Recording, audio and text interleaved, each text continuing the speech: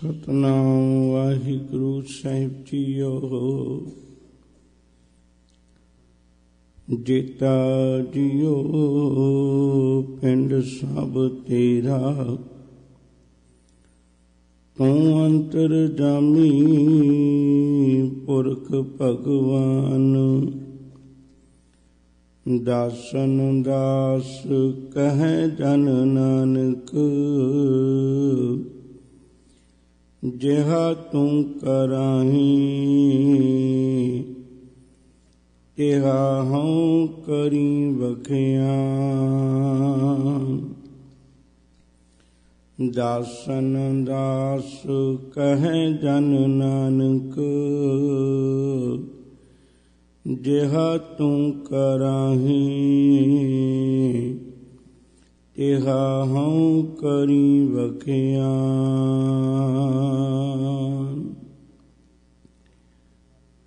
ਧੰਨ ਸ਼੍ਰੀ ਗੁਰੂ ਗ੍ਰੰਥ ਸਾਹਿਬ ਮਹਾਰਾਜ ਜੀ ਦੇ ਪਾਵਨ ਪਵਿੱਤਰ ਚਰਨ ਕਮਲਾਂ ਵਿੱਚ ਸੁਭਾਈਮਾਨ ਸਤ ਸੰਗੀ ਪਿਆਰ ਵਾਲਿਓ, ਕਰੋ ਕਿਰਪਾ ਧਿਆਨ ਗੁਰੂ ਚਰਨਾਂ ਵਿੱਚ ਜੋੜੀਏ। ਅਦਬ ਸਤਕਾਰ ਨਾਲ ਸਭ ਤੋਂ ਪਹਿਲਾਂ ਗੁਰੂ ਫਤਿਹ ਦੀ ਸਾਂਝ ਕਰੀਏ। ਆਖੋ ਜੀ, ਵਾਹਿਗੁਰੂ ਜੀ ਕਾ ਖਾਲਸਾ, ਵਾਹਿਗੁਰੂ ਜੀ ਕੀ ਫਤਿਹ। ਚਮਕੌਰ ਦੀ ਕੜੀ ਦੇ 40 ਸ਼ਹੀਦਾਂ ਦੀ ਗੱਲ ਕਰਦੇ ਹਾਂ। ਕੱਲ ਰੋਜ਼ ਆਪਾਂ ਉਹਨਾਂ ਸ਼ਹੀਦਾਂ ਦੇ ਜੀਵਨ ਵੱਲ ਝਾਤ ਮਾਰੀ ਸੀ। ਬਾਬਾ ਅਜੀਤ ਸਿੰਘ ਦਾ ਪ੍ਰਕਾਸ਼ ਹੋਇਆ। ਕਿਵੇਂ ਜ਼ਾਲਮਾਂ ਨੂੰ ਸੋਧਣਾ ਜੀਵਨ ਦੇ ਆਰੰਭ ਵਿੱਚ ਹੀ ਕਰ ਦਿੱਤਾ। ਗੁਰੂ ਘਰ ਦਾ ਇੱਕ ਇੱਕ ਕਦਮ ਜਿਹੜਾ ਉਹ ਇੱਕ ਇੱਕ ਸੁਨੇਹਾ ਹੁੰਦਾ ਹੈ। ਪਰ ਜਵਾਨੀ ਦੇ ਪਹਿਰੇ ਵਿੱਚ ਆਪਣੇ ਪੁੱਤਰ ਨੂੰ ਦਵਾਰਕਾ ਦਾਸ, ਉਹਦੀ ਪਤਨੀ ਨੂੰ ਛਡਾਉਣ ਵਾਸਤੇ ਜਾਬਰ ਖਾਨ ਦੇ ਕੋਲੋਂ ਭੇਜਿਆ। ਤੇ ਜਾਬਰ ਖਾਨ ਨੂੰ ਜਿੱਥੇ ਮੁਸ਼ਕਾਂ ਬੰਨ ਕੇ ਖੋਤੇ ਉੱਤੇ ਸਵਾਰ ਕਰਕੇ ਗੁਰੂ ਚਰਨਾਂ ਵਿੱਚ ਲੈ ਕੇ ਆਏ, ਉੱਥੇ ਦਵਾਰਕਾ ਦਾਸ ਦੀ ਪਤਨੀ ਨੂੰ ਉਹਦੇ ਹਵਾਲੇ ਕੀਤਾ। ਇਹ ਵਿਚਾਰ ਆਪਾਂ ਕੱਲ ਰੋਜ਼ ਵਿਚਾਰੀ ਸੀ। ਉਸ ਤੋਂ ਅੱਗੇ ਦੀ ਵਿਚਾਰ ਤੁਹਾਡੇ ਨਾਲ ਸਾਂਝੀ ਕਰਨਾ ਚਾਹੁੰਦਾ, ਇੱਕ ਵਾਰੀ ਮੈਂ ਫੇਰ ਬੇਨਤੀ ਕਰਦੀ ਹਾਂ। ਮੇਰੀ ਇਹ ਮਜਬੂਰੀ ਹੈ, ਭਈ ਅੱਜ ਤਰੀਕਾਂ ਜਿਹੜੀਆਂ ਨੇ, ਉਹ ਇੱਕ ਨਹੀਂ ਮਿਲਦੀਆਂ। ਜਿਵੇਂ ਪ੍ਰਿੰਸੀਪਲ ਸਤਵੀਰ ਸਿੰਘ ਹੋਰਾਂ ਦੀ ਕਿਤਾਬ ਹੈ, ਪੁਰਖ ਭਗਵੰਤ। 178 ਤੇ 179 ਪੰਨੇ ਉੱਤੇ, ਹਾਲਾਂਕਿ ਦੋਵੇਂ ਪੰਨੇ ਆਮੋ ਸਾਹਮਣੇ ਨੇ, ਕਦੇ ਵਕਤ ਮਿਲਿਆ ਨਵੀਂ ਐਡੀਸ਼ਨ ਖੋਲ ਕੇ ਦੇਖਣਾ। ਇੱਕ ਪੰਨੇ ਉੱਤੇ ਅਨੰਦਪੁਰ ਸਾਹਿਬ ਦਾ ਕਿਲਾ ਛੱਡਣ ਦੀ 13 ਦਸੰਬਰ ਤਰੀਕ ਹੈ, ਨਾਲ ਦੇ ਪੰਨੇ ਉੱਤੇ 19 ਦਸੰਬਰ ਤਰੀਕ ਹੈ। ਹਾਲਾਂਕਿ ਇੱਕ ਵੀ ਪੰਨਾ ਵਿਚਕਾਰ ਕੋਈ ਪਰਦਾ ਨਹੀਂ ਹੈ, ਕਿਸੇ ਤਰ੍ਹਾਂ ਭਲੇਖੇ ਲੱਗਿਆ ਹੋਵੇ। ਭੱਟ ਬਈਆਂ ਦੇ ਅਨੁਸਾਰ ਜਿਹੜਾ ਕਿਲਾ ਛੱਡਿਆ ਗਿਆ, ਉਹ 5 6 7 ਦਸੰਬਰ ਦੀ ਕਹਾਣੀ ਹੈ। ਪਰ ਆਪਾਂ ਕੁਝ ਵੀ ਰੱਖੀਏ ਇੱਕ ਬੇਨਤੀ ਸਿਰਫ ਇਤਨੀ ਕਰਕੇ ਤੁਰਾਂ ਵੀ ਡੇਟਾਂ ਦੇ ਚੱਕਰ ਵਿੱਚੋਂ ਨਿਕਲ ਕੇ ਦਸੰਬਰ ਦਾ ਮਹੀਨਾ ਸੀ। ਫਿਰ ਮੈਂ ਬੇਨਤੀ ਕਰਦੇ ਹਾਂ, ਸ਼ਾਇਦ ਆਪ ਨੂੰ ਇਸ ਗੱਲ ਦਾ ਵੀ ਅਹਿਸਾਸ ਹੋਵੇਗਾ ਦਸੰਬਰ ਦਾ ਮਹੀਨਾ ਹੀ ਗੁਰੂ ਕਲਗੀਧਰ ਪਿਤਾ ਜੀ ਮਹਾਰਾਜ ਦਾ ਪ੍ਰਕਾਸ਼ ਦਿਵਸ ਵੀ ਹੈ। ਦਸੰਬਰ ਦੇ ਮਹੀਨੇ 'ਚ ਹੀ ਗੁਰੂ ਕਲਗੀਧਰ ਪਿਤਾ ਜੀ ਮਹਾਰਾਜ ਦਾ ਪ੍ਰਕਾਸ਼ ਹੋਇਆ ਸੀ ਤੇ ਅੱਜ ਦਸੰਬਰ ਦੇ ਮਹੀਨੇ 'ਚ ਹੀ ਸਤਿਗੁਰੂ ਨੇ ਸਭ ਤੋਂ ਅਹਿਮ ਪ੍ਰੀਖਿਆ ਅੱਜ ਦੇਣ ਲੱਗੇ ਹੋਏ ਨੇ। ਰੱਬ ਦੇ ਮੰਨਣ ਦੀ ਇੱਕ ਅਹਿਮ ਪ੍ਰੀਖਿਆ ਦਿੱਤੀ ਜਾ ਰਹੀ ਹੈ। ਦਸੰਬਰ ਦੇ ਮਹੀਨੇ ਵਿੱਚ ਹਜ਼ੂਰ ਸੱਚੇ ਪਾਤਸ਼ਾਹ ਨੇ ਅਨੰਦਪੁਰ ਸਾਹਿਬ ਦੇ ਕਿਲੇ ਨੂੰ ਛੱਡਿਆ ਤੇ ਆਖਰਕਾਰ ਉੱਥੋਂ ਵਿਚਰਦਿਆਂ ਚਮਕੌਰ ਦੀ ਕੜੀ ਵਿੱਚ ਆ ਗਏ ਨੇ। ਇਹ ਵਿਚਲਾ ਇਤਿਹਾਸ ਤੁਹਾਡੇ ਨਾਲ ਦੱਸ ਸਾਂਝਾ ਕਰ ਬਿਠਾ ਹੋਇਆ ਪਹਿਲਾਂ। ਇੱਥੇ ਆ ਕੇ ਉਹ ਜਿਹੜੀ ਫੌਜ ਹੈ, ਸਾਰੀ ਦੀ ਸਾਰੀ ਨੇ ਇੱਥੇ ਆ ਕੇ ਘੇਰਾ ਪਾ ਲਿਆ। ਜ਼ਫਰਨਾਮਾ ਜਿਹੜਾ ਗੁਰੂ ਕਲਗੀਧਰ ਪਿਤਾ ਜੀ ਮਹਾਰਾਜ ਦੀ ਲਿਖਤ ਮੰਨਿਆ ਜਾਂਦਾ ਹੈ ਤੇ ਉਹ ਜ਼ਫਰਨਾਮੇ ਦਾ 19ਵਾਂ ਸ਼ੇਰ ਹੈ। ਆ ਬਹੁਤ ਵਾਰੀ ਪੜ੍ਹਦੇ ਸੁਣਦੇ ਹੋ ਬਗੇ ਗੁਰ ਸੁਨਾਹੇ ਚੇ ਕਾਰੇ ਕੋ ਨਦ ਚੇਹਲ ਨਾਰ, ਕੇ ਦੈ ਲੱਖ ਬਰਿਓ ਅਦ ਬਰੋ ਬੇਖਬਰ। 40 ਭੁੱਖੇ ਸ਼ੇਰ, ਉਹ ਵੀ ਜਿਨ੍ਹਾਂ ਨੂੰ ਤੂੰ ਪਿੱਛੇ 7 ਮਹੀਨੇ ਦਾ ਘੇਰਾ ਪਾ ਕੇ ਰੱਖਿਆ ਮਈ ਮਹੀਨੇ ਤੋਂ ਘੇਰਾ ਸ਼ੁਰੂ ਹੋਇਆ ਸੀ। ਪੰਥ ਪ੍ਰਕਾਸ਼ ਦੇ ਕਰਤਾ ਨੇ ਬਚਨ ਲਿਖਿਆ ਗੁਰੂ ਕਲਗੀਧਰ ਜੀ ਮਹਾਰਾਜ ਦੇ ਘੋੜੇ ਦਾ ਨਾਮ ਸੀ ਦਰਬਡਾਰ ਤੇ ਉਹਨਾਂ ਕੋਲ ਇੱਕ ਪ੍ਰਸਾਦੀ ਹਾਥੀ ਸੀ। ਇਹ ਵੀ ਘੋੜਾ ਅਤੇ ਹਾਥੀ ਉੱਥੇ ਭੁੱਖ ਦੇ ਮਾਰੇ ਇੱਥੇ ਅਨੰਦਪੁਰ ਸਾਹਿਬ ਦੀ ਧਰਤੀ ਉੱਤੇ ਸਾਥ ਛੱਡਦੇ ਨੇ। ਜ਼ਿੰਦਗੀ ਦਾ ਅੰਤ ਕਰਦੇ ਨੇ। ਇੱਥੇ ਦਾ ਤਾਰ ਸਤਿਗੁਰੂ ਗੁਰੂ ਕਰੀਮ ਨਵਾਜ ਪਾਤਸ਼ਾਹ ਨੇ ਬਚਨ ਆਖੇ, ਕਹਿਣ ਲੱਗੇ, ਸਜਣਾ, ਜਿਨ੍ਹਾਂ ਨੂੰ 7 ਮਹੀਨੇ ਦੇ ਪਿੱਛੇ ਘੇਰੇ ਵਿੱਚ ਰੱਖਿਆ ਹੈ ਔਰ ਕਸਮਾਂ ਖਾ ਕੇ ਤੂੰ ਆਪਣੀਆਂ ਤੋੜੀਆਂ ਧਰਮ ਤੋਂ ਬੇਈਮਾਨ ਹੋਇਆ ਤੇ ਅੱਜ ਉਹਨਾਂ ਕੀ 40 ਸ਼ੇਰਾਂ ਨੂੰ ਤੂੰ ਇੱਕ ਗੜੀ ਵਿੱਚ, ਕੱਚੀ ਵਿੱਚ, ਚਾਰੇ ਪਾਸਿਆਂ ਤੋਂ ਘੇਰਾ ਪਾ ਕੇ, ਇਹ ਕੋਈ ਬਹਾਦਰੀ ਨਹੀਂ ਹੈ। ਇੱਕ ਪਲ ਤੁਹਾਡਾ ਹੋਰ ਧਿਆਨ ਦਿਵਾਉਣਾ ਚਾਹੁੰਦਾ ਇਤਿਹਾਸ ਦੇ ਇੱਕ ਇੱਕ ਅੱਖਰ ਨੂੰ ਵਾਚੀਏ ਨਾ ਤੇ ਬੜਾ ਕੁਝ ਦਿੰਦੇ ਨੇ। ਦੋ ਸ਼ਬਦ ਕਰੇ ਆਪਣੀ ਜ਼ਿੰਦਗੀ 'ਚ ਵਿਚਾਰ ਕੇ ਦੇਖਿਓ। ਜਿਹੜਾ ਚਮਕੌਰ ਸਾਹਿਬ ਦਾ ਸਥਾਨ ਹੈ, ਇੱਥੇ ਗੁਰੂ ਕਲਗੀਧਰ ਦੇ ਲੱਖ ਤੇ ਜ਼ਿਗਰ ਲੜ ਕੇ ਸ਼ਹੀਦ ਹੋਏ ਨੇ। ਜਿਹੜਾ ਫਤਿਹਗੜ੍ਹ ਸਾਹਿਬ ਦਾ ਪਾਵਨ ਸਥਾਨ ਹੈ, ਉੱਥੇ ਗੁਰੂ ਗੋਬਿੰਦ ਸਿੰਘ ਜੀ ਦੇ ਲੱਖ ਤੇ ਜ਼ਿਕਰ ਖੜ ਕੇ ਸ਼ਹੀਦ ਹੋਏ ਨੇ। ਉੱਥੇ ਨੀਹਾਂ ਚ ਚਿਣੇ ਗਏ ਨੇ ਤੇ ਇੱਥੇ ਜੰਗ ਦੇ ਮੈਦਾਨ ਵਿੱਚ ਲੜ ਕੇ ਸ਼ਹੀਦ ਹੋਏ ਨੇ। ਪਰ ਤੁਸੀਂ ਇਤਿਹਾਸ ਕੋਲੋਂ ਨਾ ਪੁੱਛੋ, ਤੇ ਇਤਿਹਾਸ ਬੜੇ ਅਜੀਬ ਢੰਗ ਦਾ ਨਾਂ ਦੱਸਦਾ ਹੈ। ਜਿੱਥੇ ਲੜ ਕੇ ਸ਼ਹੀਦ ਹੋਏ, ਉਹਦਾ ਨਾਂ ਰੱਖਿਆ ਹੋਇਆ ਕਤਲਗੜ੍ਹ ਸਾਹਿਬ। ਜਦਕਿ ਉੱਥੇ ਤਾਂ ਲੜ ਕੇ ਸ਼ਹੀਦ ਹੋਏ ਨੇ। ਜਿੱਥੇ ਸਾਹਿਬਜ਼ਾਦੇ ਕਤਲ ਕੀਤੇ ਗਏ ਫਤਿਹਗੜ੍ਹ ਸਾਹਿਬ ਦੇ ਵਿੱਚ, ਉੱਥੇ ਫਤਿਹਗੜ੍ਹ ਸਾਹਿਬ, ਉੱਥੇ ਨਾ ਕਤਲਗੜ੍ਹ ਸਾਹਿਬ ਨਹੀਂ। ਜੇ ਕੋਈ ਪੁੱਛੇ ਵੀ ਇੱਥੇ ਇਹ ਲੜ ਕੇ ਸ਼ਹੀਦ ਹੋਣ ਵਾਲੇ ਅਸਥਾਨ ਦੇ ਉੱਤੇ ਕਤਲਗੜ੍ਹ ਕਿਉਂ ਹੈ? ਉਹਦਾ ਇਤਿਹਾਸ ਨੇ ਨਾ ਕਤਲਗੜ੍ਹ ਇਸੇ ਲਈ ਰੱਖਿਆ ਹੈ। ਹਾਲਾਂਕਿ ਉੱਥੇ ਕਤਲ ਨਹੀਂ ਹੋਏ। ਉੱਥੇ ਲੜੇ ਨੇ। ਪਰ ਇਸ ਲਈ ਨਾ ਕਤਲਗੜ ਸਾਹਿਬ ਰੱਖਿਆ ਇਤਿਹਾਸ ਨੇ। ਕਹਿਣ ਲੱਗੇ ਉਹ ਪਾਪੀਆ 10 ਲੱਖ ਦੀ ਫੌਜ ਲੈ ਕੇ ਤੂੰ ਇਹਨਾਂ ਛੋਟੇ ਬੱਚਿਆਂ ਨੂੰ ਜਾਂ ਇਹਨਾਂ 40 ਭੁੱਖੇ ਸ਼ੇਰਾਂ ਨੂੰ ਇਸ ਚਮਕੌਰ ਦੀ ਗੜੀ ਵਿੱਚ ਬਹਾਦਰੀ, ਇਹਨਾਂ ਦੀ ਇਹ ਉਹ ਸਜਣਾ ਗੜੀ ਤੋਂ ਬਾਹਰ ਆ ਕੇ ਆਪਣਾ ਆਪਾ ਵਾਰ ਕੇ ਸ਼ਹੀਦ ਹੋਏ ਨੇ। ਤੇਰੀ ਇੰਨੀ ਫੌਜ ਦੇ ਸਾਹਮਣੇ ਇਹਨਾਂ ਵਿੱਚੋਂ ਇੱਕ ਵੀ ਨਹੀਂ ਜਿਹੜਾ ਹੱਥ ਖੜੇ ਕਰਕੇ ਗੜੀ ਤੋਂ ਬਾਹਰ ਆਇਆ ਹੋਵੇ। ਇਸ ਲਈ ਇਤਿਹਾਸ ਇਹਨੂੰ ਕਤਲ ਗਾੜੀ ਆਖਦਾ ਇੰਨੀ ਫੌਜ ਦੇ ਸਾਹਮਣੇ 40 ਸਿੱਖਾਂ ਦੀ ਲੜਾਈ, ਕੋਈ ਦੁਨੀਆ ਦੀ ਅਨੋਖੀ ਲੜਾਈ ਹੈ। ਪਰ ਇਹਨੂੰ ਇਤਿਹਾਸ ਕਤਲ ਗਾੜੀ ਆਖਦਾ ਮੈਂ ਗੱਲ ਅੱਗੇ ਤੋਰਾ ਥੋੜੀ ਜਿਹੀ ਸਮੇਂ ਦੀ ਸੀ ਮੈਂ। ਗਰੀਬ ਨਵਾਜ ਪਾਤਸ਼ਾਹ ਨੇ ਕਿਰਪਾ ਕੀਤੀ। ਇੱਥੇ ਕੁਝ ਇੱਕ ਜਿਹੜੇ ਲੋਕ ਸਨ, ਉਹ ਪਹਿਲਾਂ ਹੱਲਾ ਕਰਨ ਵਾਸਤੇ ਆਏ। ਉਹਨਾਂ ਵਿੱਚੋਂ ਇੱਕ ਨਾਰਖਾ ਹੈ, ਜਿਹੜਾ ਗੜੀ ਦੇ ਉੱਤੇ ਪੌੜੀ ਲਾ ਕੇ ਚੜਨ ਦੀ ਕੋਸ਼ਿਸ਼ ਕਰਦਾ, ਬਾਹਰ ਦੀ ਕੰਧ ਤੋਂ ਹਜ਼ੂਰ ਗੁਰੂ ਕਲਗੀਧਰ ਪਿਤਾ ਜੀ ਮਹਾਰਾਜ ਨੇ ਇੱਕ ਤੀਰ ਮਾਰਿਆ, ਨਾਰਖਾਂ ਨੂੰ ਉਸੇ ਵੇਲੇ ਉਲਟਾ ਕੇ ਸੱਟ ਦਿੱਤਾ। ਇਹ ਨਾਰਖਾਂ ਉਹੀਓ ਹੈ ਜਿਹੜਾ ਸ਼ੇਰ ਮੁਹੰਮਦ ਖਾਂ ਦਾ ਸਕਾ ਭਰਾ ਹੈ। ਸ਼ੇਰ ਮੁਹੰਮਦ ਖਾਂ ਉਹ ਹੈ ਮਲੇਰ ਕੋਟਲੇ ਦਾ ਨਵਾਬ, ਜਿਹੜਾ ਛੋਟੇ ਸਾਹਿਬਜ਼ਾਦਿਆਂ ਦੀ ਸ਼ਹਾਦਤ ਦੇ ਵੇਲੇ ਵਜ਼ੀਰ ਖਾਂ ਪਾਪੀ ਨੂੰ ਇੱਕ ਸਲਾਹ ਦਿੰਦਾ ਸੀ, ਇਸੇ ਭਰਾ ਦਾ ਵਾਸਤਾ ਪਾਇਆ ਸੀ। ਵਜ਼ੀਰ ਖਾਨ ਨੇ ਵੀ ਤੇਰਾ ਭਰਾ ਗੁਰੂ ਗੋਬਿੰਦ ਸਿੰਘ ਜੀ ਨੇ ਜੰਗ ਦੇ ਮੈਦਾਨ 'ਚ ਸ਼ਹੀਦ ਕੀਤਾ ਤੂੰ ਇਹਨਾਂ ਬੱਚਿਆਂ ਕੋਲੋਂ ਬਦਲਾ ਲੈ ਲੈ। ਉਹਨੇ ਜਵਾਬ ਦਿੱਤਾ ਸੀ, ਕਹਿਣ ਲੱਗੇ, ਜੇ ਮੈਂ ਬਦਲਾ ਲੈਣਾ ਹੋਇਆ, ਇਹਨਾਂ ਦੇ ਬਾਪੂ ਕੋਲੋਂ ਲਵਾਂਗਾ, ਜਦੋਂ ਟੱਕਰੇਗਾ, ਇਹਨਾਂ ਕੋਲੋਂ ਬਦਲਾ ਨਹੀਂ ਜੇ ਲੈਣਾ। ਇਹ ਉਹੀਓ ਨਾਰਖਾ ਹੈ। ਦੂਜਾ ਇੱਥੇ ਆਉਣ ਦੀ ਕੋਸ਼ਿਸ਼ ਕੀਤੀ ਸੀ ਮਹਦੂਦ ਅਲੀ ਖਾਨ ਨੇ, ਜਿਹਨੂੰ ਗੁਰੂ ਕਲਗੀਧਰ ਨੇ ਮਰਦੂਦ ਲਿਖਿਆ। ਮਰਦੂਦ ਡਰਪੋਕ ਨੂੰ ਕਹਿੰਦੇ ਨੇ, ਭਗੌੜੇ ਨੂੰ ਕਹਿੰਦੇ ਨੇ। ਉਹ ਜਦੋਂ ਉੱਤੇ ਚੜਿਆ ਤੇ ਉਹਨੇ ਦੇਖਿਆ ਭਈ ਇੱਥੇ ਤੀਰਾਂ ਦੀ ਵਾਛੜ ਹੋ ਰਹੀ, ਗੁਰੂ ਕਲਗੀਧਰ ਦੇ ਤੀਰਾਂ ਵਿੱਚ ਇੰਨਾ ਸੱਤ ਹੈ, ਇੱਕ ਤੀਰ ਮਾਰਿਆ ਤੇ ਨਾਰ ਕੇ ਰੱਖ ਦਿੱਤਾ। ਉਹਨੇ ਆਪਣਾ ਸਿਰ ਛਪਾ ਲਿਆ ਤੇ ਕੰਧ ਲਈ ਓਟ ਆਸਰਾ ਲੈ ਕੇ ਉੱਥੋਂ ਚੋਰੀ ਨਿਕਲ ਗਿਆ। ਹਜ਼ੂਰ ਨੇ ਇੱਕ ਬਚਨ ਆਖਿਆ ਸੀ ਕਹਿਣ ਲੱਗੇ, ਸਜਣਾ, ਜੇ ਕਿਤੇ ਤੂੰ ਥੋੜਾ ਜਿਹਾ ਸਿਰ ਉੱਚਾ ਚੁੱਕ ਲੈਂਦਾ, ਇੱਕ ਤੀਰ ਮੈਂ ਤੈਨੂੰ ਬਖਸ਼ ਦਿੰਦਾ। ਇਵੇਂ ਗੜੀ ਦੇ ਅੰਦਰ ਕਿਸੇ ਨੂੰ ਨਿਸ਼ੈਬ ਨੇ ਆਉਣ ਦਿੱਤਾ। ਜ਼ਬਰਦਸਤ ਖਾਂ, ਦਿੱਲੀ ਦਾ ਨਵਾਬ ਅਤੇ ਕੁਝ ਇੱਥੋਂ ਦੇ ਪਹਾੜੀ ਰਾਜੇ ਅਤੇ ਵਜ਼ੀਰ ਖਾਂ ਇਹਨਾਂ ਨੇ ਸਲਾਹ ਕੀਤੀ ਕਿ ਪਿੱਛੇ ਵੀ ਘੇਰਾ ਪਾ ਕੇ ਰੱਖਿਆ ਜੇ ਇਹਨਾਂ ਨੇ ਸਿਦਕ ਉੱਥੇ ਨਹੀਂ ਹਾਰਿਆ, ਤੇ ਸਿਦਕ ਇਹ ਗੜੀ ਵਿੱਚ ਵੀ ਨਹੀਂ ਹਾਰਨ ਲੱਗੇ।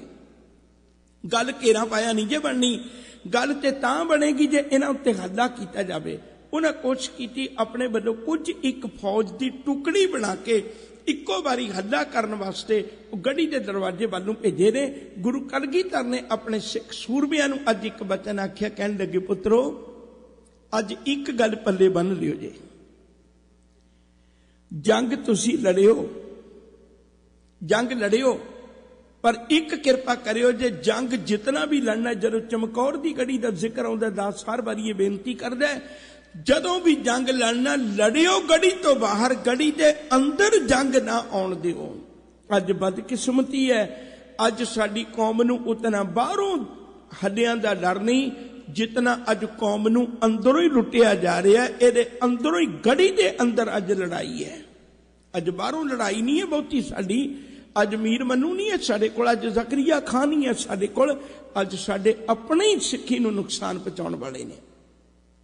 ਸਤਿਗੁਰੂ ਗੁਰੂ ਕਲਗੀਧਰ ਪਿਤਾ ਜੀ ਮਹਾਰਾਜ ਨੇ ਜਥੇ ਬਣਾ ਕੇ ਬਾਹਰ ਗਲੀ ਦੇ ਭੇਜਣੇ ਸ਼ੁਰੂ ਕਰ ਦਿੱਤੇ ਆਖਰ ਉਹ ਜ਼ਾਲਮਾਂ ਨੂੰ ਸੋਧਦੇ ਰਹੇ ਤੇ ਕੁਝ ਸਿੱਖ ਸ਼ਹੀਦ ਹੋ ਗਏ ਉਹਨਾਂ ਦਾ ਜ਼ਿਕਰ ਮੈਂ ਬਾਕੀ ਦਿਨਾਂ ਚ ਕਰਾਂਗਾ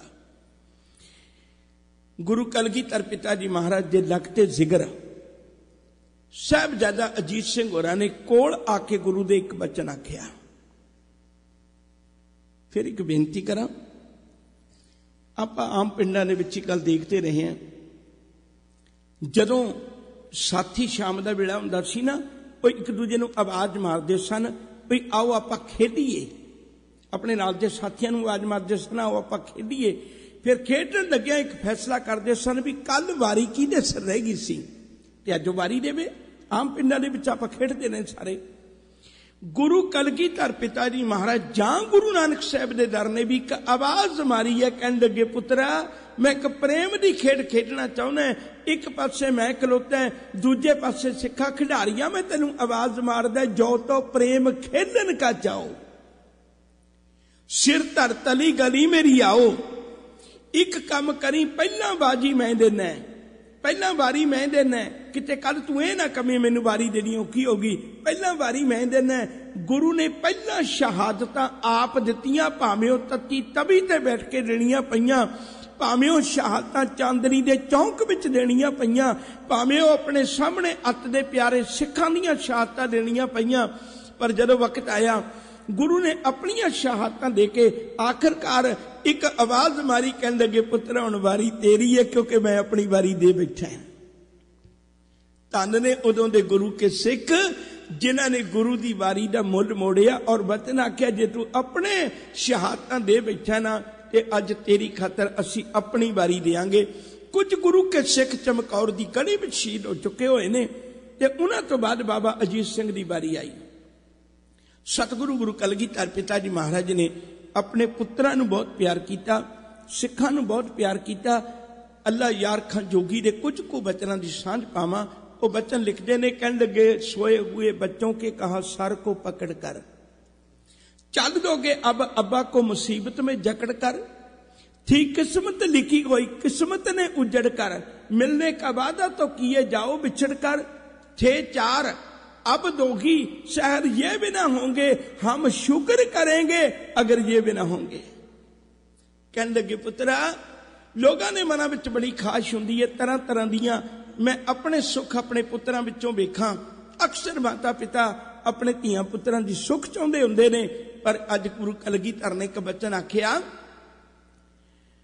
ਹਾਂ ਮੈਂ ਅੱਜ ਮੇਰੇ ਮਨ ਵਿੱਚ ਇੱਕ ਖਾਹਿਸ਼ ਹੈ ਖਾਹਿਸ਼ ਹੈ ਤੁਮੇ ਤੇਗ ਚਲਾਤੇ ਹੋਏ ਦੇਖੇ ਮੇਰਾ ਸ਼ੌਕ ਕਿਹੋ ਜਿਹਾ ਵੱਖਰਾ ਹੈ ਗੁਰੂ ਕਲਗੀਧਰ ਨੇ ਬਚਨ ਆਖਿਆ ਆਪਣੇ ਪੁੱਤਰ ਨੂੰ ਕੋਲ ਕਰਕੇ ਬਾਬਾ ਅਜੀਤ ਸਿੰਘ ਨੂੰ ਜਦੋਂ ਸ਼ਹਾਦਤ ਦੀ ਆਗਿਆ ਮੰਗਣ ਆਏ ਨੇ बचन आख्या खाश है तुम्हें तेग चलाते हुए देखें अपनी आंख से तुम्हें बर्छी खाते हुए देखें ਮੇਰੇ ਪੁੱਤਰਾ, ਮੈਂ ਤੈਨੂੰ ਸੁੱਖਾਂ ਦੀ ਝੋਲੀ ਵਿੱਚ ਪਲਣਾ ਨਹੀਂ ਚਾਹੁੰ, ਦੇਖਣਾ ਚਾਹੁੰਦਾ।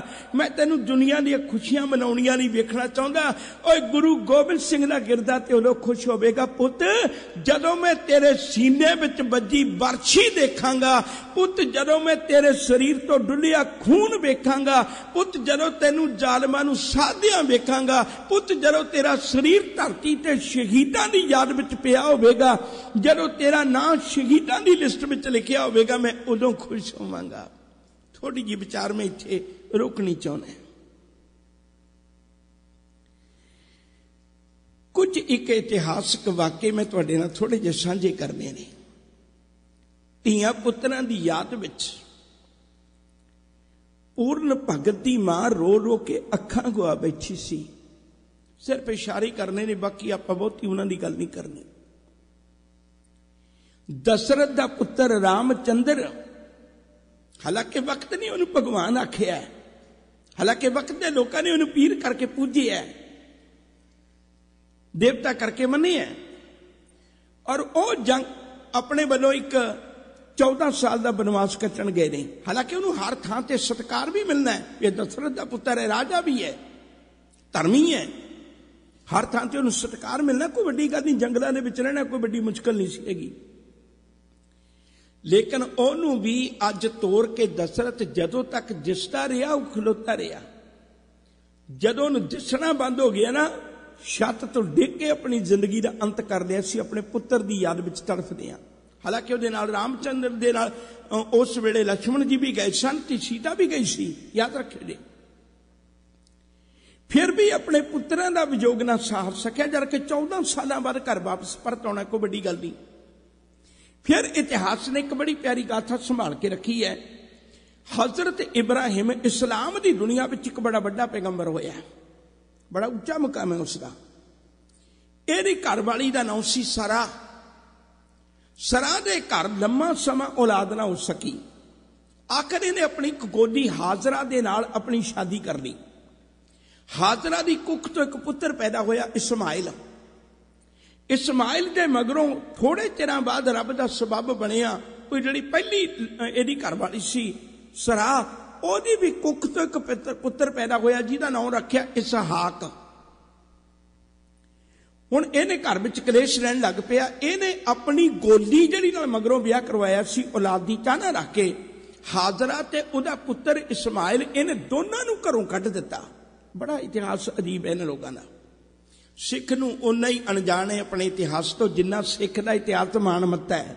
ਖੈਰ, ਮੈਂ ਗੱਲ ਨੇੜੇ ਰੱਖਣੀ ਚਾਹੁੰਦਾ ਜਦੋਂ ਉਹਨੂੰ ਹਾਜ਼ਰਾ ਨੂੰ ਘਰੋਂ ਕੱਢ ਦਿੱਤਾ ਤੇ ਆਖਰ ਇਸਮਾਇਲ ਵੀ ਘਰੋਂ ਚਲਾ ਗਿਆ ਤੇ ਸਰਾ ਨੇ ਕੁਝ ਸਮੇਂ ਬਾਅਦ ਉਹਦੀ ਪਹਿਲੀ ਪਤਨੀ ਨੇ ਕੁਝ ਸਮੇਂ ਬਾਅਦ ਕਲੇਸ਼ ਕਰਦਿਆਂ ਇੱਕ ਬਚਨ ਆਖਿਆ, ਕਹਿਣ ਲੱਗੇ, ਮੈਂ ਤੈਨੂੰ ਤਾਂ ਮੰਨਾਂਗੀ, ਤੇਰੇ ਨਾਲ ਉਹਦੇ ਨਾਲ ਮੋਹ ਟੁੱਟ ਗਿਆ ਤੇ ਤੇਰੇ ਮਨ ਵਿੱਚ ਕੋਈ ਉਹਨਾਂ ਨੂੰ ਮਿਲਣ ਦੀ ਚਾਹਤ ਨਹੀਂ ਹੈ। ਜੇ ਤੂੰ ਕਿਸੇ ਤਰੀਕੇ ਇਸਮਾਇਲ ਦਾ ਕਤਲ ਕਰੇ, ਆਪਣੇ ਹੀ ਪੁੱਤਰ ਦਾ ਕਤਲ ਕਰੇ। ਕਹਿਣ ਲੱਗਾ, ਠੀਕ ਹੈ, ਚਲਾ ਗਿਆ। ਰੱਬ ਦੇ ਘਰ ਅਰਦਾਸ ਕੀਤੀ, ਬੇਨਤੀ ਕੀਤੀ, ਜਦੋਂ ਇਸਮਾਇਲ ਨੂੰ ਕਤਲ ਕਰਨ ਲੱਗਾ ਤੇ ਇਸਮਾਇਲ ਨੇ ਆਪਣੇ ਪਿਤਾ ਦਾ ਬਚਨ ਮੰਨ ਕੇ ਆਪਣੇ ਹੱਥ ਆਪ ਖੁਦ ਬੰਨ ਲਏ।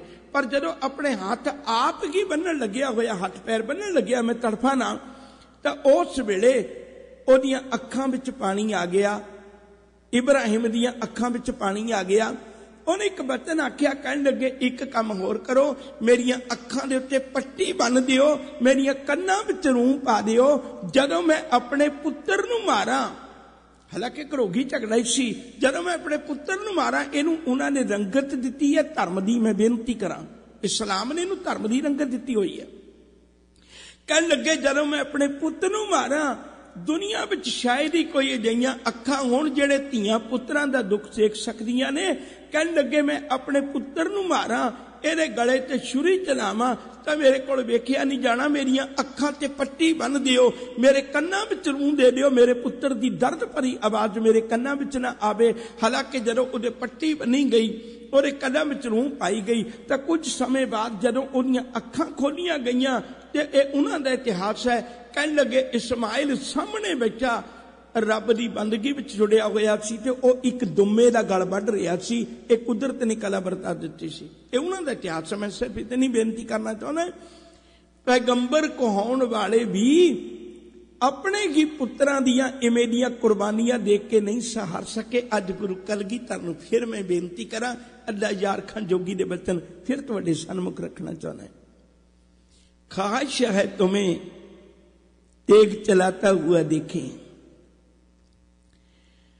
हमें आंख से तुम्हें बर्छी खाते हुए देखें ਮੇਰੇ ਮਨ ਵਿੱਚ ਖਾਹਿਸ਼ ਹੈ ਮੈਂ ਤੈਨੂੰ ਤੇਗ ਚਲਾਉਂਦਿਆਂ ਵੇਖਾਂ ਮੇਰੇ ਮਨ ਵਿੱਚ ਖਾਹਿਸ਼ ਹੈ ਤੈਨੂੰ ਮੈਂ ਜ਼ਖਮੀ ਹੋਇਆ, ਜੰਗ ਦੇ ਮੈਦਾਨ ਵਿੱਚ ਦੇਖਾਂ, ਬਰਛੀ ਖਾਂਦਿਆਂ ਵੇਖਾਂ। ਆਪਣੇ ਪੁੱਤਰ ਨੂੰ ਅਦਬ ਸਤਕਾਰ ਨਾਲ ਮਸਤਕ ਚੁੰਮ ਕੇ ਪਿਆਰ ਕਰਕੇ ਜੰਗ ਦੇ ਮੈਦਾਨ ਵਿੱਚ ਤੋਰਿਆ। ਇਹਦੇ ਨਾਲ ਪੰਜ ਸਿੰਘ ਤੋਰੇ ਨੇ। ਭਾਈ ਦਾਨ ਸਿੰਘ, ਭਾਈ ਕੇਸਰ ਸਿੰਘ, ਭਾਈ ਈਸ਼ਰ ਸਿੰਘ, ਭਾਈ ਦੇਵਾ ਸਿੰਘ, ਸਤਿਗੁਰੂ ਜੀ ਨੇ ਇੱਕ ਨਾਲ ਭਾਈ ਮੋਹਕਮ ਸਿੰਘ ਜੀ, ਇਹ ਪੰਜਾਂ ਪਿਆਰਿਆਂ ਚੋਂ ਹੈ। ਇਹਦਾ ਇਤਿਹਾਸ ਮੈਂ ਅੱਗੇ ਜਾ ਕੇ ਤੁਹਾਡੇ ਨਾਲ ਸਾਂਝਾ ਕਰਾਂਗਾ। ਇਹਨਾਂ ਨੂੰ ਤੋਰਿਆ ਜਾ ਕੇ ਜੰਗ ਦੇ ਮੈਦਾਨ ਵਿੱਚ ਤਰਥੱਲੀ ਮੱਚੀ ਹੈ। ਸਾਹਿਬਜ਼ਾਦਾ ਅਜੀਤ ਸਿੰਘ ਖੂਬ ਜੂਝ ਕੇ ਲੜੇ ਨੇ। ਆਖਰਕਾਰ ਲੜਦਿਆਂ ਲੜਦਿਆਂ ਇਹਨਾਂ ਦੇ ਪੱਥੇ ਵਿੱਚ ਜਿੰਨੇ ਕੁ ਤੀਰ ਸਨ, ਉਹ ਸਾਥ ਛੱਡ ਗਏ। ਕਿੰਨੇ ਕੁ ਤੀਰ ਸਨ? ਉਹ ਸਾਥ ਛੱਡ ਗਏ। ਜਦੋਂ ਉਹਨਾਂ ਨੇ ਵੀ ਸਾਥ ਛੱਡਿਆ, ਆਖਰਕਾਰ ਇੱਕ ਨੇਜਾ ਸੀ ਕੋਲ, ਘੋੜੇ ਉੱਤੇ ਸਵਾਰ ਨੇ। ਤੇ ਨੇਜੇ ਦੇ ਨਾਲ ਆਪਣੇ ਵੱਲੋਂ ਕੁਝ ਸਮਾਂ ਜੰਗ ਲੜਿਆ। ਪਰ ਇੱਕ ਸਾਹਮਣੇ ਜ਼ਾਲਮ ਹੈ ਜਿਨੇ ਸੁਨਾ ਪਹਿਨਿਆ ਹੋਇਆ, ਲੋਹੇ ਦੇ ਕੱਪੜੇ ਪਹਿਨੇ ਹੋਏ ਨੇ, ਲੋਹੇ ਦੇ ਆਪਣਾ ਸੁਨਾ ਪਹਿਨਿਆ ਹੋਇਆ ਉਹਨੇ ਤੇਜ਼ੀ ਦੇ ਨਾਲ ਬੱਚਾ ਮਾਰਿਆ, ਤੇ ਉਹ ਜਿਹੜਾ ਨੇਜਾ ਸੀ, ਉਹਦੀ ਜਿਹੜੀ ਅਗਲੀ ਨੁੱਕਰ ਸੀ, ਉਹ ਉਹਦੇ ਵਿੱਚ ਹੀ ਰਹਿ ਗਈ, ਤੇ ਨੇਜਾ ਵੀ ਟੁੱਟ ਗਿਆ। ਬਾਬਾ ਅਜੀਤ ਸਿੰਘ ਸਾਹਿਬਜ਼ਾਦਾ ਅਜੀਤ ਸਿੰਘ ਨੇ ਆਪਣੀ ਤੇਗ ਕੱਢੀ, ਤੇ ਤੇਗ ਚਲਾਉਣ ਲੱਗ ਪਏ। ਸਾਹਮਣੇ ਵਾਲੇ ਨੇ ਫਿਰ ਵਰਛੇ ਦਾ ਵਾਰ ਕੀਤਾ ਕੋੜਾ ਜ਼ਖਮੀ ਹੋ ਗਿਆ ਥੱਲੇ ਉਤਰ ਕੇ ਜੰਗ ਲੜਨ ਲੱਗ ਪਏ। ਜਦੋਂ ਥੱਲੇ ਉਤਰ ਕੇ ਜੰਗ ਲੜਦੇ ਨੇ, ਆਖਰਕਾਰ ਉਹ ਤੇਗ ਨਾਲ ਜੰਗ ਲੜਦਿਆਂ ਲੜਦਿਆਂ ਇੱਕ ਇਹੋ ਜਿਹਾ ਕਾਰਨ ਬਣਿਆ, ਤੇਗ ਵੀ ਟੁੱਟ ਗਈ। ਜਦੋਂ ਤੇਗ ਵੀ ਟੁੱਟੀ, ਉਦੋਂ ਜ਼ਾਲਮ ਨੇ ਇੱਕ ਗੱਲ ਵੇਖੀ, ਸਾਹਮਣੇ ਇੱਕ ਵਰਸ਼ਾ ਮਾਰਿਆ ਬਾਬਾ ਅਜੀਤ ਸਿੰਘ ਦੀ ਛਾਤੀ ਵਿੱਚੋਂ ਵਰਸ਼ਾ ਲੱਗਿਆ ਗੁਰੂ ਗੋਬਿੰਦ ਸਿੰਘ ਦਾ ਲੱਕ ਤੇ ਜਿਗਰ ਕਿੰਨਾ ਸਮਾਂ ਲੜਦਿਆਂ ਹੋ ਗਿਆ ਸੀ, ਇੰਨੀ ਫੌਜ ਨੂੰ ਥੰਮ ਕੇ ਖਲੋਤਾ ਹੋਇਆ ਸੀ, ਪਰ ਆਖਰ ਧਰਤੀ ਤੇ ਡਿੱਗ ਪਿਆ, ਜਦੋਂ ਆਖਰੀ ਸਵਾਸ ਲਿਆ, ਚਮਕੌਰ ਦੀ ਗੜੀ ਵਿੱਚ ਸਾਰ ਰੋਕ ਕੇ ਬੈਠੇ ਸਿੱਖ।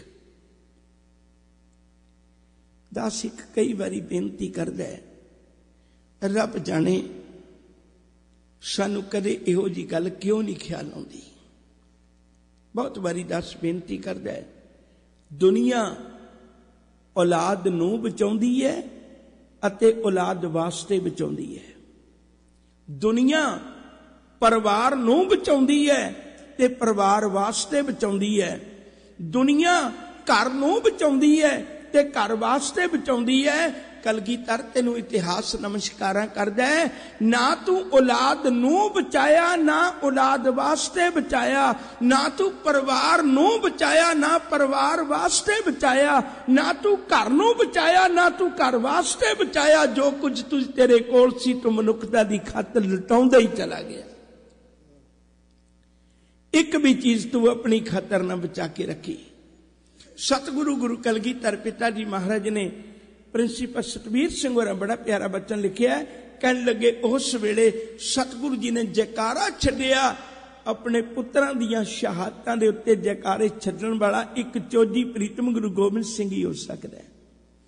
ਜੈਕਾਰਾ ਛੱਡਿਆ, ਗੁਰੂ ਕੇ ਸਿੱਖਾਂ ਨੇ ਉਹਦਾ ਜਵਾਬ ਦਿੱਤਾ ਤੇ ਆਖਰਕਾਰ ਹਜੇ ਇਹ ਗੱਲ ਨੇੜੇ ਵੀ ਹੋਈ ਸੀ ਤੇ ਉਸੇ ਵੇਲੇ ਬਾਬਾ ਜੁਝਾਰ ਸਿੰਘ ਗੁਰੂ ਕਲਗੀਧਰ ਦੇ ਚਰਨਾਂ ਵਿੱਚ ਆਇਆ ਆ ਕੇ ਇੱਕ ਬੇਨਤੀ ਕਰਨ ਲੱਗਾ ਪਿਤਾ ਜੀ, ਦਸ ਨੇ ਕੱਲ ਰੋਜ਼ ਵੀ ਅਰਜ਼ ਕੀਤੀ ਸੀ, ਮਾਰਚ ਦੇ ਮਹੀਨੇ 1691 ਦੇ ਵਿੱਚ ਬਾਬਾ ਜੁਝਾਰ ਸਿੰਘ ਹੋਰਾਂ ਦਾ ਪ੍ਰਕਾਸ਼ ਹੋਇਆ ਸੀ। 4 ਕੁ ਸਾਲ ਕਰੀਬ ਇਹ ਉਮਰ ਵਿੱਚ ਛੋਟੇ ਨੇ। ਬਾਬਾ ਅਜੀਤ ਸਿੰਘ ਜੀ ਹੋਰਾਂ ਤੋਂ ਇਕੱਠੇ ਖੇਡਦੇ ਰਹੇ। ਇਕੱਠਿਆਂ ਸਾਰਾ ਕੁਝ ਆਪਣੀ ਜ਼ਿੰਦਗੀ ਦੇ ਬਚਪਨ ਦੀਆਂ ਖੇਡਾਂ ਨੂੰ ਮਾਣਿਆ। 14 ਸਾਲ 7 ਮਹੀਨੇ ਇਹਨਾਂ ਦੀ ਉਮਰ ਹੈ। ਇਸ ਵੇਲੇ ਜਦੋਂ ਪਿਤਾ ਦੇ ਕੋਲ ਖਲੋ ਕੇ ਉਹਨੇ ਇੱਕ ਬਚਨ ਆਖਿਆ, ਕਹਿਣ ਲੱਗੇ, ਪਿਤਾ ਜੀ, ਮੈਂ ਜਦੋਂ ਗੁਰਬਾਣੀ ਸਿੱਖੀ ਤੇ ਆਪਣੇ ਵੀਰੇ ਕੋਲੋਂ ਸਿੱਖੀ, ਜਦੋਂ ਮੈਂ ਖੇਡਣਾ ਸਿੱਖਿਆ ਤੇ ਆਪਣੇ ਵੀਰੇ ਕੋਲੋਂ ਸਿੱਖਿਆ, ਜਦੋਂ ਮੈਂ ਆਪਣੀ ਜ਼ਿੰਦਗੀ ਦੀ ਕੋਈ ਵੀ ਕਰਮ ਕੀਤਾ, ਮੈਂ ਆਪਣੇ ਵੀਰੇ ਕੋਲੋਂ ਸਿੱਖਿਆ ਹੈ। ਪਿਤਾ ਜੀ, ਅੱਜ ਮੈਂ ਤੇਰੇ ਚਰਨਾਂ ਵਿੱਚ ਇੱਕ ਬੇਨਤੀ ਕਰਨਾ ਹੈ। ਕਿਤੇ ਮੋਹ ਮਮਤਾ ਦੇ ਵਸ ਹੋ ਕੇ ਐਸਾ ਕਾਰਜ ਨਾ ਬਣ ਜਾਏ ਵੀ ਮੈਨੂੰ ਤੁਸੀਂ ਲੈ ਕੇ ਨਿਕਲ ਜਾਵੋ। ਮੈਂ ਅੱਜ ਇੱਕ ਬੇਨਤੀ ਕਰਨਾ ਹੈ, ਇੱਕ ਕਿਰਪਾ ਕਰਿਓ ਜੇ। ਮੈਨੂੰ ਇਹਨਾਂ ਵੀਰੇ ਦੀ ਖਾਤਰ ਮੈਂ ਸਭ ਕੁਝ ਵੀਰੇ ਕੋਲੋਂ ਸਿੱਖਿਆ ਤੇ ਅੱਜ ਮੈਂ ਮਰਨਾ ਵੀ ਵੀਰੇ ਕੋਲੋਂ ਸਿੱਖਣਾ ਚਾਹੁੰਦਾ ਅੱਜ ਮੈਂ ਸ਼ਹਾਦਤ ਵੀ ਵੀਰੇ ਕੋਲੋਂ ਸਿੱਖਣੀ ਚਾਹੁੰਦਾ ਇੱਕ ਕਿਰਪਾ ਕਰ ਪਿਤਾ, ਮੈਨੂੰ ਅੱਜ ਜੰਗ ਦੇ ਮੈਦਾਨ ਵਿੱਚ ਤੋਰ ਦੇ। ਅੱਲਾ ਯਾਰ ਖਾਨ ਜੋਗੀ ਨੇ ਬੜੇ ਪਿਆਰੇ ਬਚਨ ਲਿਖੇ ਨੇ। ਬਾਈਸ਼ ਸੇ ਵਿਛੜ ਕਰ ਮੁਝੇ ਜੀਣਾ ਨਹੀਂ ਆਤਾ। ਕਹਿਣ ਲੱਗੇ, ਭਰਾ ਦੇ ਕੋਲ ਵਿਛੜ ਕੇ ਮੈਨੂੰ ਲੱਗਦਾ ਪਿਤਾ ਜੀ, ਮੈਂ ਜੀ ਨਹੀਂ ਸਕਾਂਗਾ। ਦੇਖੋ, ਪਿਤਾ ਕੋਲ ਹੈ, ਪਿਤਾ ਦਾ ਸੰਗ ਨਹੀਂ ਮੰਗ ਰਹੇ। ਸਿੱਖ ਕੋਲ ਨੇ, ਸਿੱਖ ਦਾ ਸੰਗ ਨਹੀਂ ਮੰਗ ਰਹੇ। ਬਤਨ ਮੰਗ ਰਹੇ ਨੇ ਕਹਿਣ ਲੱਗੇ ਪਿਤਾ ਜੀ ਮੈਨੂੰ ਪ੍ਰਤੀਤ ਹੁੰਦਾ ਹੈ ਮੈਨੂੰ ਮਹਿਸੂਸ ਹੁੰਦਾ ਹੈ ਸ਼ਾਇਦ ਮੈਂ ਆਪਣੇ ਵੀਰੇ ਕੋਲੋਂ ਵਿਛੜ ਕੇ ਜਿਉ ਨਾ ਸਕਾਂ ਮੈਨੂੰ ਜੀਣਾ ਹੀ ਨਹੀਂ ਆਉਂਦਾ बाईस से बेचन कर मुझे जीना नहीं आता सोना नहीं पीना नहीं खाना नहीं पाता ਕਹਿਣ ਲੱਗੇ ਮੈਨੂੰ ਨੀਂਦ ਵੀ ਨਹੀਂ ਆਏਗੀ ਮੇਰੇ ਵੀਰੇ ਤੋਂ ਬਿਨਾ ਪਿਤਾ ਜੀ ਅੱਜ ਮੈਂ ਤੁਹਾਡੇ ਚਰਨਾਂ ਵਿੱਚ ਬੇਨਤੀ ਕਰਦਾ, ਮੈਨੂੰ ਲੱਗਦਾ ਮੇਰੇ ਵੀਰੇ ਤੋਂ ਬਿਨਾ ਮੈਂ ਕੁਝ ਖਾ ਵੀ ਨਹੀਂ ਸਕਾਂਗਾ, ਕੁਝ ਪੀ ਵੀ ਨਹੀਂ ਸਕਾਂਗਾ। ਕਿਤੇ ਮੋਹ ਮਮਤਾ ਦੀਆਂ ਤਾਰਾਂ ਤੇਰੇ ਅੰਦਰ ਬੈਠੇ ਉਹ ਪਿਤਾ ਨੂੰ ਨਾ ਜਗਾ ਦੇਣ, ਮੈਨੂੰ ਜੰਗ ਦੇ ਮੈਦਾਨ ਵਿੱਚ ਤੋੜ ਦੇ। ਸਤਿਗੁਰੂ ਗੁਰੂ ਕਲਗੀਧਰ ਪਿਤਾ ਜੀ ਮਹਾਰਾਜ ਨੇ ਕੁੱਟ ਕੇ ਗਲਵਕੜੀ ਚ ਲਿਆ ਆਪਣੇ ਪੁੱਤਰ ਨੂੰ ਸ਼ਸਤਰ ਸਜਾਏ। ਇੱਕ ਬਚਨ ਆਖਿਆ, ਕਹਿਣ ਲੱਗੇ, ਪੁੱਤ ਵੇ, ਕਿੰਨਾ ਚੰਗਾ ਹੁੰਦਾ ਇਸ ਵੇਲੇ ਆਪਣਾ ਪਰਿਵਾਰ ਇਕੱਠਾ ਹੁੰਦਾ ਇੱਕ ਮੈਂ ਬੇਨਤੀ ਹੋਰ ਕਰਦੀ ਹਾਂ। ਜੇ ਤੁਸੀਂ ਸ਼ਰਧਾ ਦੀ ਅੱਖ ਨਾਲ ਇਤਿਹਾਸ ਨੂੰ ਪੜੋ ਨਾ, ਕਈ ਵਾਰੀ ਦਿਲ ਹਿਲਾ ਕੇ ਰੱਖ ਦਿੰਦਾ ਕੀਰਤਪੁਰ ਸਾਹਿਬ ਦੇ ਕਰੇ ਦਰਸ਼ਨ ਕਰਿਓ। ਉਹਦੇ ਬਿਲਕੁਲ ਲਾਗੇ ਪਰਿਵਾਰ ਵਿਛੋੜਾ ਸਾਹਿਬ ਹੈ। ਕੋਈ ਬਹੁਤੇ ਪੰਥ ਤੇ ਨਹੀਂ ਹੈ। ਕੀਰਤਪੁਰ ਸਾਹਿਬ ਦੀ ਧਰਤੀ ਉਹ ਸੁਭਾਗੀ ਧਰਤੀ ਹੈ, ਜਿੱਥੇ ਇੱਕ 9 ਸਾਲਾਂ ਦਾ ਪੁੱਤਰ ਆਪਣੇ ਪਿਤਾ ਦਾ ਸੀਸ ਆਪਣੀ ਝੋਲੀ ਵਿੱਚ ਪਵਾ ਕੇ ਮਿਲਿਆ ਸੀ। ਕੁੱਟ ਕੇ ਗਲਵਕੜੀ ਚ ਲੈ ਕੇ ਮਿਲਿਆ ਸੀ। ਕੀਰਤਪੁਰ ਸਾਹਿਬ ਦੀ ਧਰਤੀ ਵਿਛੜਿਆਂ ਨੂੰ ਮਿਲਾਉਂਦੀ ਹੈ। ਚੰਦ ਕਦਮਾਂ ਤੇ ਤੁਰ ਜਾਈਏ, ਪਰਿਵਾਰ ਵਿਛੋੜਾ ਹੈ। ਤੇ ਪਰਿਵਾਰ ਵਿਛੋੜੇ ਦੀ ਧਰਤੀ ਮਿਲਿਆ ਹੋਇਆ ਨੂੰ ਵਿਛੋੜਦੀ ਹੈ। ਉੱਥੇ ਪਰਿਵਾਰ ਵਿਛੜਿਆ ਸੀ। ਯਾਦ ਰੱਖੋ ਜੇ ਉੱਥੇ ਪਰਿਵਾਰ ਦੇ ਤਿੰਨ ਟੁਕੜੇ ਹੋਏ ਸਨ। ਅੱਜ ਅਸੀਂ ਆਪਣੇ ਵਿਰਸੇ ਤੋਂ ਵਿਛੜਦੇ ਜਾ ਰਹੇ ਹਾਂ। ਫਿਰ ਜਿਹੜੀ ਬੇਨਤੀ ਕਰਨੀ ਚਾਹੁੰਦਾ ਪੰਦ ਲਮਾ ਸਤਿਗੁਰੂ ਗੁਰੂ ਕਲਗੀਧਰ ਪਿਤਾ ਜੀ ਮਹਾਰਾਜ ਨੇ ਇੱਕ ਬਚਨ ਆਖਿਆ, ਕਹਿਣ ਲੱਗੇ, ਪੁੱਤਰ, ਕਿੰਨਾ ਚੰਗਾ ਹੁੰਦਾ ਜੇ ਅੱਜ ਪਰਿਵਾਰ ਇਕੱਠਾ ਹੁੰਦਾ। ਮੈਨੂੰ ਜ਼ਿੰਦਗੀ 'ਚ ਕਦੇ ਪਰਿਵਾਰ ਚੇਤੇ ਨਹੀਂ ਆਇਆ ਪਰ ਅੱਜ ਮੈਨੂੰ ਚੇਤੇ ਆਉਂਦਾ ਮੈਂ ਅੱਜ ਆਪਣੇ ਪੁੱਤਰਾਂ ਦੇ ਸ਼ਗਨ ਮਨਾ ਕੇ ਤੋੜਦਾ, ਤੇਰੀ ਮਾਂ ਤੈਨੂੰ ਅੱਜ ਜੰਗ ਦੇ ਮੈਦਾਨ ਵਿੱਚ ਜਾਂਦੇ ਆ ਵੇਖਦੀ। ਸ਼ਾਇਦ ਅੱਜ ਤੇਰੀ ਦਾਦੀ ਬਹੁਤ ਮਾਣ ਕਰਦੀ, ਤੈਨੂੰ ਜੰਗ ਦੇ ਮੈਦਾਨ ਵਿੱਚ ਜਾਂਦੇ ਆ ਵੇਖ ਕੇ। ਮੇਰੇ ਕੋਲ ਸਾਰਾ ਪਰਿਵਾਰ ਨਹੀਂ ਹੈ, ਸਾਰੇ ਪਰਿਵਾਰ ਦੀਆਂ ਖੁਸ਼ੀਆਂ ਮੈਂ ਮਨਾਉਣੀਆਂ ਨੇ। ਗੁਰੂ ਕਲਗੀ ਧਰਨੇ ਅੱਜ ਆਪਣੇ ਸਾਹਿਬਜ਼ਾਦੇ ਬਾਬਾ ਜੁਝਾਰ ਸਿੰਘ ਨੂੰ ਸਾਹਮਣੇ ਖਿਲਾਰ ਕੇ ਉਹਦਾ ਮਸਤਕ ਚੁੰਮਿਆ, ਕਹਿਣ ਲੱਗੇ ਆ ਪਿਆਰ ਤੈਨੂੰ ਗੁਰੂ ਵਾਲਾ ਪਿਆਰ ਫਿਰ ਇੱਕ ਹੱਥ ਚੁੰਮਿਆ ਕਹਿਣ ਲੱਗੇ ਆ ਪਿਆਰ ਤੈਨੂੰ ਪਿਤਾ ਵਾਲਾ ਪਿਆਰ। ਫਿਰ ਦੂਜਾ ਹੱਥ ਚੁੰਮਿਆ ਕਹਿਣ ਲੱਗੇ ਆ ਪਿਆਰ ਤੈਨੂੰ ਤੇਰੀ ਮਾਤਾ ਵਾਲਾ ਪਿਆਰ। ਕਦੇ ਕੁਝ ਚੁੰਮਦੇ ਨੇ, ਕਦੇ ਕੁਝ ਚੁੰਮਦੇ ਨੇ, ਸਤਿਗੁਰੂ ਕਦੇ ਆਖਦੇ ਨੇ ਆ ਤੈਨੂੰ ਸਿੱਖਾਂ ਵਾਲਾ ਪਿਆਰ ਹੈ ਆ ਤੈਨੂੰ ਤੇਰੀ ਦਾਦੀ ਵਾਲਾ ਪਿਆਰ ਹੈ, ਅੱਜ ਤੇਰੇ ਛੋਟੇ ਭਰਾ ਦਾ ਪਿਆਰ ਹੈ, ਅੱਜ ਉਸ ਤੋਂ ਛੋਟੇ ਬਾਬਾ ਫਤਿਹ ਸਿੰਘ ਦਾ ਪਿਆਰ ਹੈ। ਸਾਰਿਆਂ ਦਾ ਪਿਆਰ ਦੇ ਕੇ ਮੇਰੇ ਸਤਿਗੁਰੂ ਗਰੀਬ ਨਵਾਜ ਪਾਤਸ਼ਾਹ ਜੀ ਮਹਾਰਾਜ ਨੇ ਆਖਰ ਇਹਦੇ ਨਾਲ ਵੀ ਕੁਝ ਸਿੱਖ ਤੋਰੇ ਨੇ। ਗੜੀ ਵਿੱਚੋਂ ਬਾਹਰ ਕੱਢਿਆ, ਬੂਹੇ ਤੋਂ ਬਾਹਰ ਜਾਂਦੇ ਆ ਸਾਰ ਜ਼ਾਲਮ ਨੇ ਦੇਖਿਆ ਵੀ ਹਜੇ ਮੂੰਹ ਤੇ ਦਾੜੀ ਵੀ ਨਹੀਂ ਆਈ। 14 ਸਾਲਾਂ ਦੀ ਉਮਰ ਵਿੱਚ 14 ਸਾਲ 7 ਮਹੀਨੇ ਦੀ ਉਮਰ ਹੈ, ਹਜੇ ਮੁਖ ਤੇ ਦਾੜੀ ਵੀ ਨਹੀਂ ਸੀ ਆਈ। ਇਤਨੀ ਲਹਿਰੀ ਦੀ ਉਮਰ ਵਿੱਚ ਦੇਖ ਕੇ ਔਰ ਸਿੱਖਾਂ ਦਾ ਜਥੇਦਾਰ ਬਣਾਉਂਦਾ ਵੇਖ ਕੇ ਉਹਨਾਂ ਨੇ ਇੱਕੋ ਵਾਰੀ ਹੱਲਾ ਕੀਤਾ ਬਾਬਾ ਜੁਝਾਰ ਸਿੰਘ ਦੇ ਪੈਰ ਉਖੜ ਗਏ। ਉਸ ਵੇਲੇ ਗੁਰੂ ਕਲਗੀਧਰ ਪਿਤਾ ਜੀ ਮਹਾਰਾਜ ਨੇ ਕਿਰਪਾ ਕੀਤੀ ਉਸੇ ਵੇਲੇ ਆਪਣੇ ਵੱਲੋਂ ਤੀਰਾਂ ਦੀ ਬਾਛੜ ਕੀਤੀ ਯਾਦ ਰੱਖੋ ਜੇ ਗੁਰੂ ਕਲਗੀਧਰ ਇੱਕ ਉੱਚੀ ਮਮਟੀ ਵਿੱਚ ਬੈਠੇ ਤੇ ਸਭ ਕੁਝ ਵੇਖ ਰਹੇ ਸਨ ਜੰਗ ਨੂੰ ਆਪਣੇ ਅੱਖੀਂ ਵੇਖ ਰਹੇ ਸਨ ਸਤਿਗੁਰੂ ਗਰੀਬ ਨਵਾਜ ਪਾਤਸ਼ਾਹ ਜੀ ਮਹਾਰਾਜ ਨੇ ਉਸੇ ਵੇਲੇ ਇੱਕ ਕੋਸ਼ਿਸ਼ ਕੀਤੀ ਆਪਣੇ ਵੱਲੋਂ ਤੀਰਾਂ ਦੀ ਬਾਛੜ ਕੀਤੀ ਹੈ ਪੁੱਤ ਵੇ ਕਿਤੇ ਜ਼ੋਰ ਦਿਖਾਉਣ ਤੋਂ ਬਿਨਾ ਨਾ ਚਲਾ ਜਾਈ। ਸੰਸਾਰ ਦਾ ਇਤਿਹਾਸ ਤੈਨੂੰ ਯਾਦ ਕਰਦਾ ਤੂੰ ਉਹਦਾ ਪੜਪੋਤਰਾ ਜਿਹੜਾ ਗਲ 'ਚ ਦੋ ਤੇਗਾ ਪਹਿਨਦਾ ਸੀ। ਗੁਰੂ ਹਰਗੋਬਿੰਦ ਸਾਹਿਬ ਦਾ ਪੜਪੋਤਰਾ ਹੈ ਤੂੰ।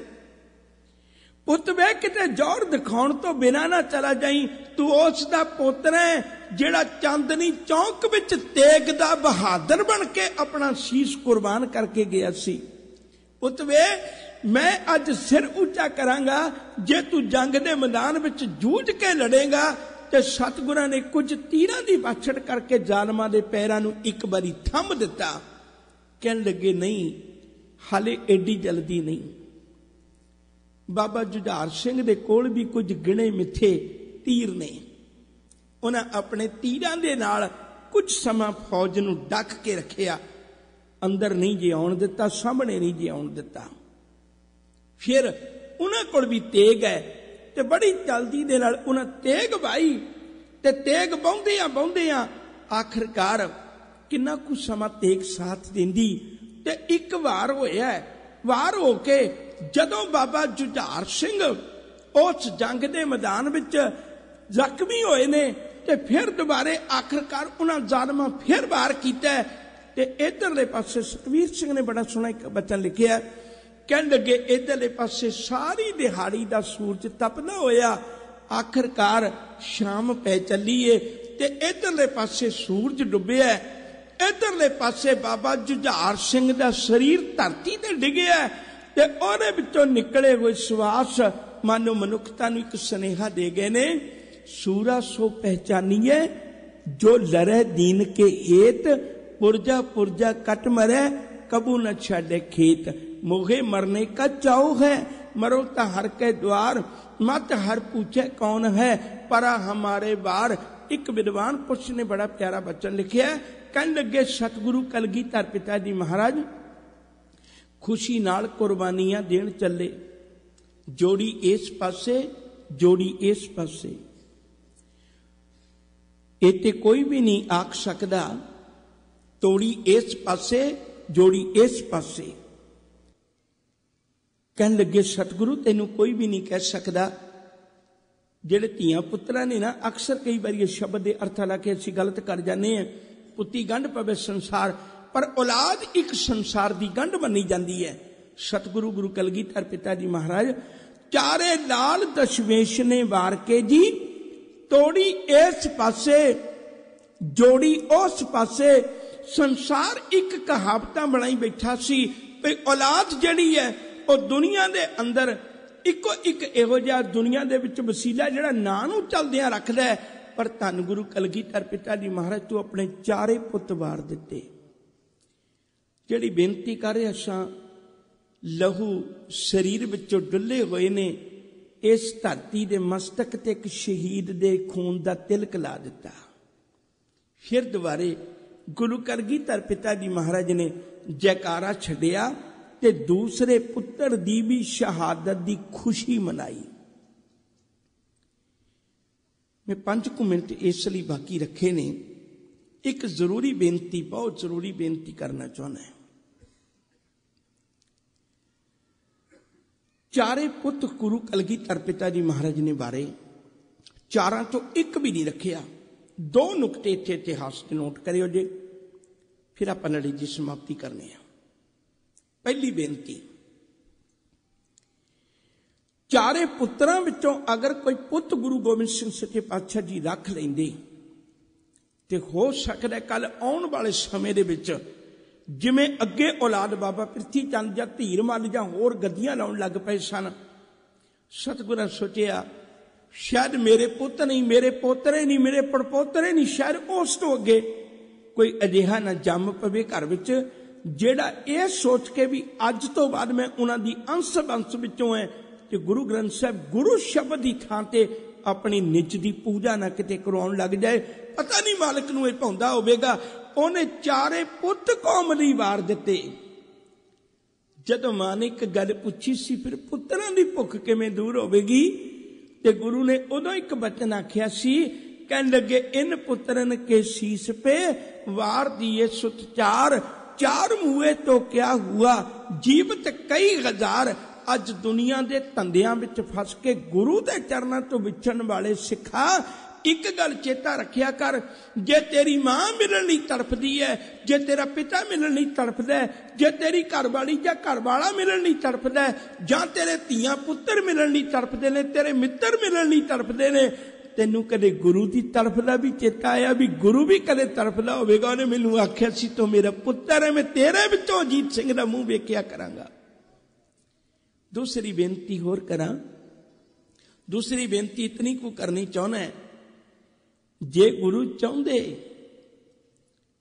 ਤਾਂ ਆਪਣੇ ਸਾਹਿਬਜ਼ਾਦਿਆਂ ਨੂੰ ਇੱਕ ਵਾਰੀ ਵੇਖਤੇ ਜਾਂਦੇ, ਉਹਨਾਂ ਦੀਆਂ ਲਾਸ਼ਾਂ ਪਈਆਂ ਵੇਖ ਤੇ ਜਾਂਦੇ ਕਮ ਸੇ ਕਮ ਇਹਨਾਂ ਤੇ ਕਰ ਜਾਂਦੇ। ਜੰਗ ਦੇ ਮੈਦਾਨ ਵਿੱਚੋਂ ਰਾਤ ਦੇ ਵਕਤ ਜਾਂ ਸਵੇਰ ਦੇ ਵਕਤ ਸਿੱਖਾਂ ਦੀ ਡਿਊਟੀ ਲਾ ਜਾਂਦੇ। ਕਿ ਜਦੋਂ ਜੰਗ ਲੜਨ ਜਾਵੋਗੇ, ਮੇਰੇ ਪੁੱਤਰਾਂ ਦੀਆਂ ਲਾਸ਼ਾਂ ਗੜੀ ਵਿੱਚ ਲੈ ਆਇਓ ਤੇ ਇਹਨਾਂ ਦਾ ਸੰਸਕਾਰ ਕਰ ਦਿਓ। ਗੁਰੂ ਨੇ ਇੱਕ ਬਚਨ ਆਖਿਆ, ਕਹਿਣ ਲੱਗੇ, ਨਾ ਪੁੱਤਰਾ, ਜੇ ਮੈਂ ਇਸ ਵੇਲੇ ਕਿਸੇ ਸਰੀਰ ਨੂੰ ਅਹਿਮੀਅਤ ਦੇ ਦਿੱਤੀ, ਗੁਰੂ ਦੀ ਸਿੱਖਾਂ ਦੀ ਨਜ਼ਰ ਵਿੱਚ ਗੁਰੂ ਸ਼ਬਦ ਦੀ ਕੀਮਤ ਘਟ ਜਾਏਗੀ। ਠੀਕ ਹੈ ਪੁੱਤ, ਮੇਰੇ ਸਨ ਮੇ ਕੌਮ ਨਹੀਂ ਵਾਰੇ ਨੇ। ਤੇ ਉਹ ਜਦੋਂ ਆਪਣੇ ਪੁੱਤਰਾਂ ਦੀਆਂ ਉਵੇਂ ਲਾਸ਼ਾਂ ਛੱਡ ਕੇ ਗੁਰੂ ਜੀ ਉਸ ਪੰਥ ਖਾਲਸੇ ਦਾ ਹੁਕਮ ਮੰਨ ਕੇ ਤੁਰ ਪਏ। ਲੇਕਿਨ ਅੱਜ ਦੇ ਮਨੁੱਖ ਦੇ ਕੋਲ ਉਹ ਵਾਸਤਾ ਨਹੀਂ ਹੈ। ਅੱਜ ਦਾ ਮਨੁੱਖ ਨਾ ਗੁਰੂ ਦੀ ਤੇ ਨਾ ਗੁਰੂ ਪੰਥ ਦੀ ਗੱਲ ਨਹੀਂ ਸੁਣਦਾ। ਜਿਤਨੀ ਸਰੀਰਾਂ ਦੀ ਗੱਲ ਸੁਣਦਾ, ਉਨੀ ਗੁਰੂ ਦੀ ਗੱਲ ਨਹੀਂ ਜੇ ਸੁਣਦਾ। ਸਿਰਫ ਇਤਨੀ ਅਰਜ਼ ਕਰਨੀ ਚਾਹੁੰਦੇ ਗੁਰੂ ਨੇ ਆਪਣੇ ਪੁੱਤਰਾਂ ਦੀਆਂ ਲਾਸ਼ਾਂ ਨੂੰ ਵੇਖਣਾ ਤੱਕ ਵੀ ਪਸੰਦ ਨਾ ਕੀਤਾ। ਸਰੀਰਾਂ ਦੀ ਗੱਲ ਛੱਡ ਕੇ ਗੁਰੂ ਖਾਲਸੇ ਦਾ ਬਚਨ ਮੰਨ ਕੇ ਚਮਕੌਰ ਦੀ ਗੜੀ ਨੂੰ ਛੱਡ ਕੇ ਚਲੇ ਗਏ ਤਾਂ ਕਿ ਮੈਂ ਬਚਨਾਂ ਤੇ ਪਹਿਰਾ ਦੇ ਸਕਾਂ। ਕੱਲ ਸਿੱਖ ਨੂੰ ਕਹਿ ਸਕਾਂ, ਤਾਂ ਗੁਰੂ ਦੇ ਬਚਨਾਂ ਤੇ ਪਹਿਰਾ ਦੇਵੀਂ। ਅੱਜ ਗੁਰੂ ਕੇ ਸਿੱਖੋ, ਇਤਨੀ ਅਰਜ਼ ਕਰਦੇ ਆ ਸਿਰਫ ਆਓ, ਅੱਜ ਆਪਾਂ ਵੀ ਜਿਹਦਾ ਗ੍ਰੰਥ ਇੱਕ ਤੋਂ ਸ਼ੁਰੂ ਹੁੰਦਾ ਹੋਵੇ, ਉਹ ਕੌਮ ਵੰਡੀਆਂ ਵਿੱਚ ਪਈ ਹੋਈ ਚੰਗੀ ਨਹੀਂ ਜੇ ਲੱਗਦੀ। ਜਿਹਦੇ ਗੁਰੂ ਇੱਕ ਦੀ ਗੱਲ ਕਰਦਾ ਹੋਵੇ, ਇੱਕ ਤੋਂ ਬਿਨਾ ਕਹਿੰਦਾ ਹੋਵੇ, ਸਾਹਿਬ ਮੇਰਾ ਏਕੋ ਹੈ ਏਕੋ ਹੈ ਭਾਈ। ਏਕੋ ਹੈ, ਜਿਨੇ ਬਚਨ ਆਖਿਆ ਸੀ, ਅੰਮ੍ਰਿਤ ਪੀਆ, ਸਤਗੁਰ ਦੀਆ, ਅਵਰ ਨਾ ਜਾਣਾ, ਦੂਆ ਤੀਆ। ਉਸੇ ਕੌਮ ਕੋਲ ਅੱਜ ਪਤਾ ਨਹੀਂ ਕਿੰਨੀ ਕੁ ਤਰ੍ਹਾਂ ਦੇ ਅੰਮ੍ਰਿਤ ਨੇ। ਉਸੇ ਕੌਮ ਦੇ ਕੋਲ ਪਤਾ ਨਹੀਂ ਅੱਜ ਕਿੰਨੇ ਕੁ ਧੜੇ ਬੰਦੀਆਂ ਨੇ, ਜਿਹੜੀਆਂ ਅਸੀਂ ਵੰਡੀ ਬੈਠੇ ਆ।